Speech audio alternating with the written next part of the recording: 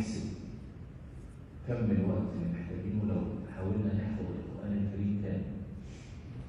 فوجدنا إن كل صفحة من صفحات القرآن فيها 15 سطر مثلا وعندنا حوالي 604 صفحة خليهم 600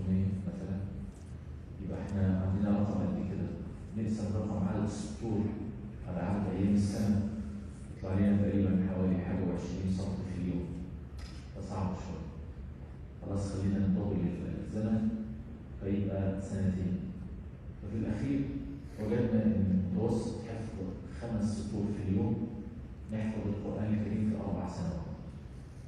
بيكون الوقت في الغالب أقل من كده لأن مهارة الحفظ اللي بتبقى صعبة في البداية بتسهل بعد شوية. وتكرار المعاني بيقرب الآيات بالذهن فيكون الإقبال عليها أعلى. فهل حد لديه استعداد إنه يخوض هذه المعركة مع نفسه؟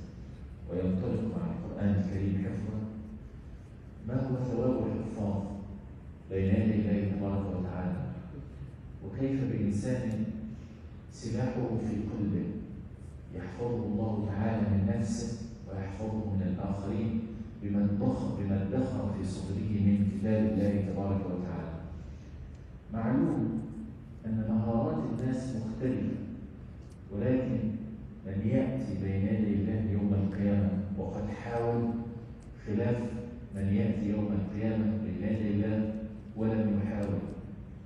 من استطاع أن يحفظ سطر واحد في اليوم أو سطرين في اليوم سوف يجد بين يديه إنجاز كبير جدا بعد سنة بعد اثنين بعد ثلاثة. ويبقى السؤال ما الذي أنجزناه إلى الآن في حياتنا؟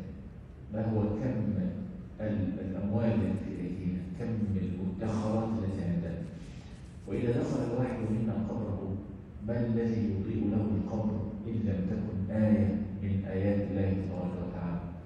ما الذي يمكن أن يكون شفيعا له يدي الله إن لم يكن نص قرآني اجتهد في حفظه وعكف عليه؟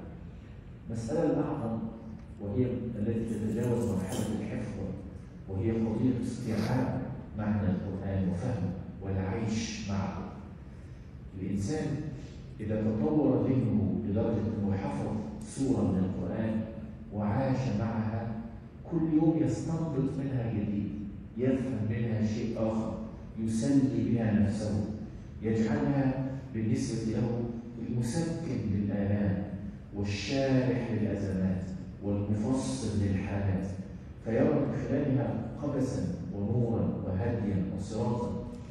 نرى فيها ما وصف الله تبارك وتعالى به القرآن ذاته عندما قال إنه شفاء شفاء لماذا؟ لما في الصدور وهدى ورحمة.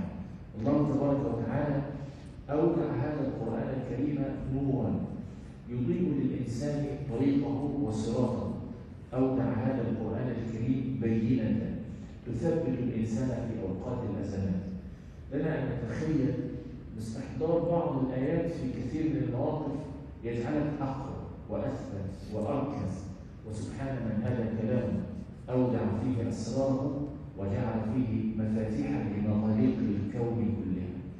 فإن شاء الله تبارك وتعالى سنرجع إلى سيرتنا الأولى قبل رمضان هنكون عليه في القربة لله ده من أراد أن يخوض هذه التجربة هيقضي معانا 10 دقايق يقرأ سطرين ثلاثة بكرة الصبح إن شاء الله نسمعهم ويقرأهم ويروح وهنعمل برنامج أو منهج للمراجعة.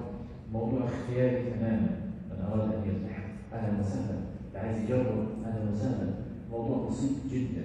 لكن بإذن الله تبارك وتعالى تكون فاتحة خير وحسينا أن العدد زيادة. معنا أخونا حمزة الله يحفظه من الحفاظ. نسأل الله يبارك له فيما أتاه. والأهل الفضل والخير يساعدنا. إن شاء الله سبحانه وتعالى Islam Qabul. Radiyallahu anhu wa radiyallahu anhu.